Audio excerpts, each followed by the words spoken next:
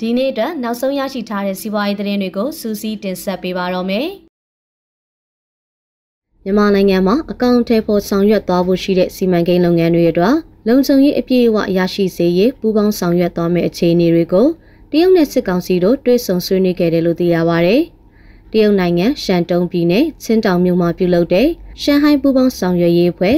SCO ရဲ့စိန်လန်းသောဖွံ့ဖြိုးမှုဖိုရမ်မှာ ဇူလိုင်လ10ရက်ကဒုစစ်ကောင်းဆောင်ဒုဗိုလ်ချုပ်မှုကြီးစိုးဝင်းတက်ရောက်မိကွန်းပြောကြားခဲ့ပါတယ်။ရှမ်းပြည်နယ်မြောက်ပိုင်းမှာတိုင်းသားလက်နက်ကိုင်တပ်တွေနဲ့စစ်ကောင်စီတပ်တွေတိုက်ပွဲပြင်းထန်စွာဖြစ်ပွားနေချိန်တရုတ်နိုင်ငံကအိရှင်ဖြစ်ပြုလုပ်တဲ့စိန်လန်းသောဖွံ့ဖြိုးမှုဖိုရမ်ကိုတက်ရောက်ဖို့ဒုဗိုလ်ချုပ်မှုကြီးစိုးဝင်းတဲ့အဖွဲ့ကဇူလိုင်လ6ရက်ကသွားခဲ့တာဖြစ်ပါတယ်။ဆွေးနွေးမှုအတွင်းတရားမဝင်နေဆက်ဖြတ်ကျော်မှုအွန်လိုင်းလောင်းကစားပပျောက်ရေးနဲ့မူရစ်စေဝါကာကွယ်တားဆီးရေးဆိုင်ရာလုပ်ငန်းတွေနဲ့ပတ်သက်ပြီး နှစ်နိုင်ငံတည်င်းအချက်အလက်ဖလှယ်ရယူရေးဆိုင်ရာကိစ္စရပ်တွေပါဝင်ခဲ့ပါတယ်။နှစ်နိုင်ငံကုန်သွယ်မှုတိုးမြင့်ဖော်ဆောင်ရေးနှစ်နိုင်ငံစီးပွားရေးဆိုင်ရာပူးပေါင်းဆောင်ရွက်မှုနဲ့ရင်းနှီးမြှုပ်နှံမှုတိုးမြင့်ဖော်ဆောင်ရေးကိစ္စရပ်တွေကိုလည်းထည့်သွင်းဆွေးနွေးခဲ့တယ်လို့သိရပါတယ်။ဘေကျင်းဆိုရအနေနဲ့စစ်ကောင်စီထိပ်ပိုင်းတာဝန်ရှိသူတွေနဲ့မကြာခဏတွေ့ဆုံပြီးနိုင်ငံအတွင်းကလှုပ်လက်ဆတရုတ်စီမံကိန်းတွေအမြန်ဆုံးပြီးစီးဖို့ထပ်မံဖော်ဆောင်မဲ့စီမံကိန်းအသစ်တွေကိုအမြန်ဆုံးစတင်နိုင်ဖို့ဆွေးနွေးနေကြတာဖြစ်ပါတယ်။ တရုတ်ရဲ့ထင်ရှားတဲ့စီမံကိန်းတွေကတစ်ခုဖြစ်တဲ့စောက်ဖြူရင်းနဲ့စိတ်ကန်းစီမံကိန်းကိုအခုနှစ်ကုန်ပိုင်းမှာစတင်ဖို့ရထားပေမဲ့စစ်ကောင်စီနဲ့အာရခတပ်တော် AA တို့တိုက်ပွဲပြင်းထန်နေတာလည်းဖြစ်ပါတယ်။ရင်းနဲ့စိတ်ကန်းကတရုတ်ခေတ်သစ်ပိုလန်မာကြီး BRI ရဲ့အစိပ်ပိုင်းလည်းဖြစ်ပြီးရခင်သဘောတူညီချက်တွေအရ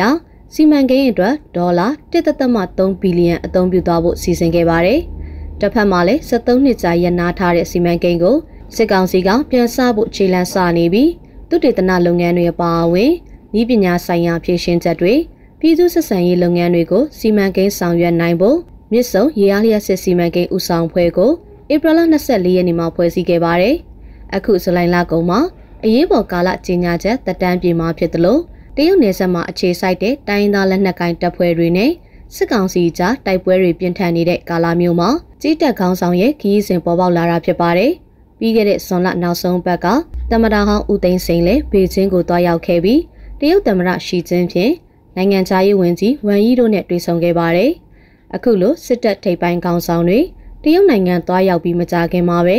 တရုတ်နှစ်သက်ကူနေကိုအများပြည်သူယုံပေးရဖြစ်သတ်မှတ်ကြောင်းစစ်ကောင်စီကထုတ်ပြန်ကြေညာခဲ့ပါတယ်။စစ်ကောင်စီရဲ့ဝန်ကြီးတွေမနစ်ကစားလို့တရုတ်နိုင်ငံကိုအကြိမ်ပေါင်း10နဲ့ချီခရီးထွက်ခဲ့ပြီးပေမဲ့ စစ်ကောင်းဆောင်မင်းအောင်လှိုင်ကတော့အာဏာသိမ်းပြီးကတည်းကတရုတ်နိုင်ငံကိုတကောက်မှမရောက်ရှိသေးတာဖြစ်ပါတယ်။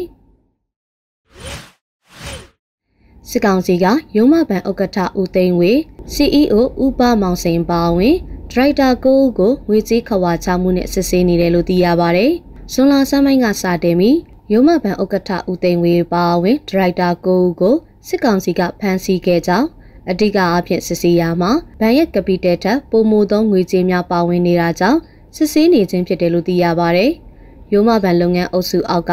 ရိုးမကုမ္ပဏီရဲ့အမှုဆောင်ဥက္ကဋ္ဌဖြစ်သူဦးသိန်းဝေခေါ်မစ္စတာဆာ့ချ်ဘန်ဟာနေပြည်တော်မှာထိမ့်သိမ်းခံနေရတဲ့ဆိုတဲ့သတင်းတွေထွက်ပေါ်လာပြီးနောက်မှာစင်ကာပူစီးရင်ဝင်ရိုးမလုပ်ငန်းစုရဲ့ရှယ်ယာတွေဟာလည်း20ရာခိုင်နှုန်းထိကျဆင်းသွားတယ်လို့စင်ကာပူခြေဆိုင် Straight Time သတင်းဌာနကဖော်ပြလာပါတယ်။ရိုးမဘဏ်လုပ်ငန်းစုပုတ်ဖွဲ့ဘက်ကတော့ ရုံးမလုပ်ငန်းစုရဲ့အမှုဆောင်ဥက္ကဋ္ဌဖြစ်သူမစ္စတာဆာ့ချ်ဘန်ဟာ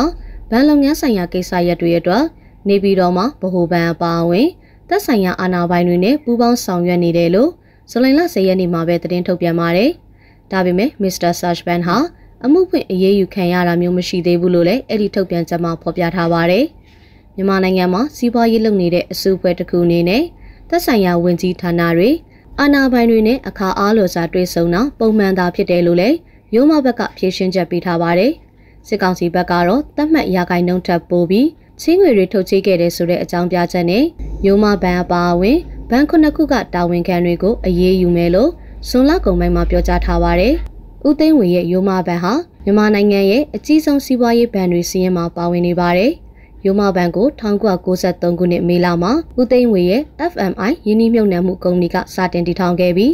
ယခုအခါမြို့ပေါင်း53ခုမှာ ဘဏ်ခွဲပေါင်း85ခုဖွင့်လှစ်ထားတာဖြစ်ပါတယ်။အခုခါမှာတော့တခြားသောပုဂ္ဂလိကဘဏ်6ခုနဲ့အတူအိမ်ချမ်းမြေချင်းငွေစီးမြင့်တွေကိုချိုးဖောက်မှုကြောင့်စစ်ဆေးမှုတွေခံယူနေရတယ်လို့စစ်ကောင်စီပိုင်းသတင်းစာတွေကပြီးခဲ့တဲ့သတင်းပတ်မှာဖော်ပြခဲ့ပါတယ်။2022ခုနှစ်အောက်တိုဘာလမှာ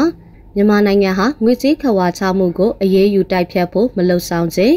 အကြမ်းဖက်မှုနဲ့ပတ်သက်တဲ့ငွေကြေးကိစ္စရပ်တွေကိုအရေးယူမှုမလှုံ့ဆော်ခြင်း FATF အဖွဲ့ကြီးကချမှတ်ထားတဲ့စီမင်းစည်းကမ်းပေါင်းတွေအတိုင်းလိုက်နာမှုမရှိခြင်းအရေးယူလှုံ့ဆော်မှုတွေနဲ့ပတ်သက်ပြီးတိုးတက်မှုရှိအောင်မဆောင်ရွက်ခြင်းတွေကြောင့်ငွေကြေးခဝါချမှုနဲ့အကြမ်းဖက်မှုဆိုင်ရာဗန်နာရေးတွေမှာပါဝင်ပတ်သက်တဲ့အမည်ပြနိုင်ငံအဖြစ်ကမ္ဘာငွေကြေးဆိုင်ရာအရေးယူဆောင်ရွက်ရေးအဖွဲ့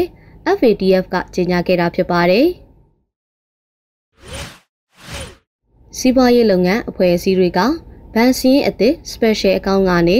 ငွေသားပြန်လည်ထုတ်ယူခြင်းအတွက်အနှံငွေသားပမာဏအတွင်းကန့်သက်ချက်မရှိထုတ်ယူခွင့်ပြုပြီးဖြစ်ကြောင်းစစ်ကောင်စီဗဟိုဘဏ်ကပြောကြားလာပါတယ်။ယခုရက်ပိုင်းအတွင်းဘဏ်တွေမှာအနှံငွေအလွယ်တကူထုတ်မရတဲ့အခြေအနေတွေကြုံတွေ့နေရကြောင်းလူမှုကွန်ရက်စာမျက်နှာတွေမှာပြောဆိုရေးသားမှုတွေပေါ်စစ်ကောင်စီဗဟိုဘဏ်ကအခုလိုတုံ့ပြန်ဖြေရှင်းလာတာဖြစ်ပါတယ်။ special account ကနေအနှံငွေသားပမာဏအတွင်းကန့်သက်ချက်မရှိပြန်လည်ထုတ်ယူခွင့်ပြုပြီးဖြစ်တယ်လို့ဗဟိုဘဏ်ကဆိုပါတယ်။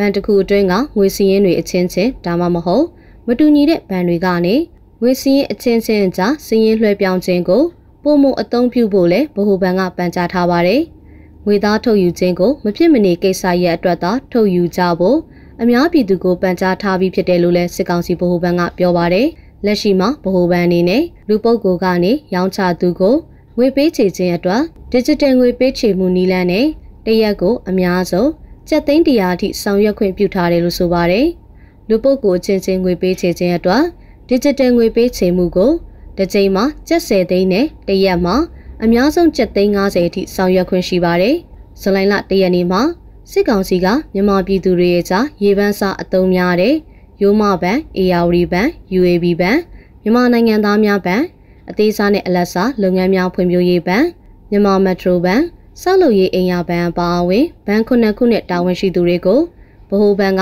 သတ်မှတ်ထားတဲ့ရာဂိုင်နှုန်းထက်အိမ်ယာချင်းငွေတွေထုတ်ချေခဲ့တဲ့အတွက်အရေးယူဆောင်ရွက်သွားမယ်လို့ကြေညာပြီးနောက်ပုဂ္ဂလိကဘဏ်တွေမှာငွေထုတ်ယူသူတွေအလွန်များပြားလာခဲ့ပါတယ်။ဘဏ်များစုကတော့ special account ကနေငွေကျပ်10သိန်းမှ30ကျားသာထုတ်ပေးတော့တယ်လို့လည်းသိရပါတယ်။မြန်မာဘဏ်တွေမှာလူများငွေထုတ်ရခက်လာချိန်ဘဏ်လုပ်ငန်းရှင်တွေကိုစစ်ကောင်စီက နေပြည်တော်မှာခေါ်ယူတွေ့ဆုံပြီးဆွေးနွေးတာကြောင့်ဈေးကွက်ရိုက်ခတ်သွားတယ်လို့လည်းထောက်ပြနေကြပါတယ်။စစ်ကောင်စီဗဟိုဘဏ်ဒုတိယဥက္ကဋ္ဌကတော့ဘဏ်တွေမှာငွေထုတ်ယူမှုများလာတာဟာမီဒီယာတွေနဲ့မတမာတဲ့စီးပွားရေးသမားတွေရဲ့လှုံ့ဆော်မှုကြောင့်လို့ဆွဆွဲပြောဆိုထားပါတယ်။လက်လီစံဆိုင်တွေမှာသတ်မှတ်နှုံတိုင်မယောင်းချရင်အရေးယူမယ်လို့စစ်ကောင်စီလက်အောက်ခံစံစဘာအသင်းချုပ်ကပြောဆိုထားတာကြောင့်စံဆိုင်ချုပ်အယောင်ပိတ်ထားတယ်လို့ဈေးကွက်အတွင်းမှာသိရပါတယ်။ လက်လီစံဆိုင်တွေမှာလက်လီရောင်းချမှုအတွက်သတ်မှတ်ထားတဲ့ဈေးနှုန်းတွေအတိုင်းရောင်းချပေးဖို့လိုအပ်မှုတွေရှိနေသေးတာကိုတွေ့ရှိရတယ်လို့မြန်မာနိုင်ငံစံစဘာအသင်းချုပ် MRF ကထုတ်ပြန်ထားတာဖြစ်ပါတယ်။ယခုအခါစံစည်းနှုန်းတွေကစံဆက်တွေပွဲရုံတွေနဲ့ကုန်စည်တိုင်းတွေပါဝင်တဲ့လက်ကားဈေးကွက်မှာသတ်မှတ်ရည်ညွှန်းဈေးတွေနဲ့ရောင်းချနေပြီးဖြစ်ပေမဲ့လက်လီစံဆိုင်တွေကရောင်းမပေးနိုင်တဲ့အခြေအနေရှိနေတယ်လို့ဆိုပါတယ်။လက်လီစံဆိုင်တွေဟာစံဈေးကွက်မှာအလွန်အရေးပါပြီး စားသုံးသူနဲ့ထိတွေ့မှုအများဆုံးဖြစ်ခါရက်ကွက်တွေဈေးတွေနဲ့မြို့ရွာတွေမှာပါပြန့်နှံ့တည်ရှိကြပါတယ်။ဒါကြောင့်လက်လီဆန်းဆိုင်တွေအနေနဲ့သတ်မှတ်ဈေးနှုန်းတွေနဲ့အညီပစ္စည်းမှန်ဈေးနှုန်းမှန်အလေးချိန်မှန်အရေးအသွေးမှန်စွာနဲ့ရောင်းချပေးဖို့ MRF ကတိုက်တွန်းထားပါတယ်။သတ်မှတ်ရည်ညွှန်းဈေးနှုန်းထပ်ပိုပြီးရောင်းချမှုတွေကိုထိရောက်စွာဖော်ထုတ်အရေးယူမှုတွေ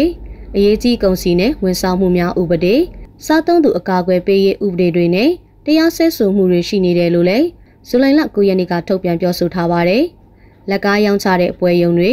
စံဆက်တွေနဲ့ကုန်စည်တိုင်းတွေကနေသတ်မှတ်ရည်ညွှန်းဈေးတွေနဲ့ကုန်ပစ္စည်းရရှိမှုမရှိခြင်းအရေးအသွေးလျော်နေတဲ့ပစ္စည်းတွေသာဝယ်ယူရရှိပါကတိကျတဲ့အချက်လက်နဲ့အတိပေးတင်ပြဖို့လဲကြေညာထားပါတယ်။စစ်ကောင်စီတတ်မှတ်နှုံတက်ပုံမှုအမျက်တင်ရောင်းချတယ်လို့ဆိုကစံစဘာလုပ်ငန်းရှင်9ဦးနဲ့ အယောင်စင်တာတာဝန်ရှိသူ၄ဦးတို့ကိုစစ်ကောင်စီကဇူလိုင်လ၁ရက်နေ့ကထုတ်ပြန်ကြေညာခဲ့ပါတယ်။အခုတင်ဆက်ပေးခဲ့တာကတော့နောက်ဆုံးရစီးပွားရေးသတင်းကြောင်းရာတွေပဲဖြစ်ပါတယ်။ဒီနေ့ရဲ့တင်ဆက်မှုကိုဒီလောက်နဲ့ပဲရနာပြစေရှင်။